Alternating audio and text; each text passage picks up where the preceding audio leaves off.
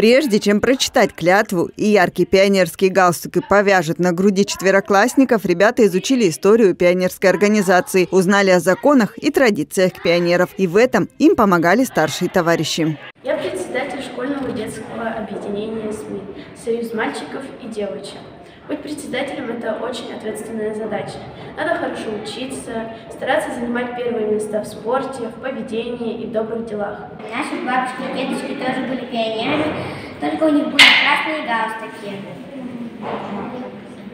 Стать пионером не так уж и просто, нужно проявить себя, принести клятву, и только потом тебя примут потом мы должны уже жить по закону пионерии, быть примером во всем. Поздравить новых пионеров пришли почетные гости. Депутат Совета Рустам Ахтямов, глава сельсовета Айнур Мусин, учителя, ветераны, руководители местных учреждений и жители села. Первую учебную деятельность я начала работать пионер-вожатой.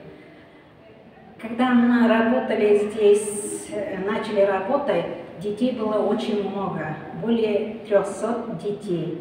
И дружина э, проводили сборы пионерские, был знаменосец обязательно у нас, гарнист, барабанщик.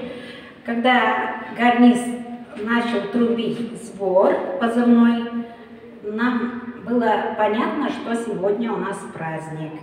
У нас галстуки были красные. И хоть сейчас галстуки современных пионеров школьного детского объединения СМИТ отличаются от тех первых, но миссия и цель ребят остается прежней – быть активными, спортивными, добрыми, справедливыми, помогать старшим и поддерживать различные акции. По решению Совета школы каждый обучающийся четвертого класса достоин звания «пионер». Я надеюсь, что наши пионеры вырастут настоящими патриотами нашей великой Родины.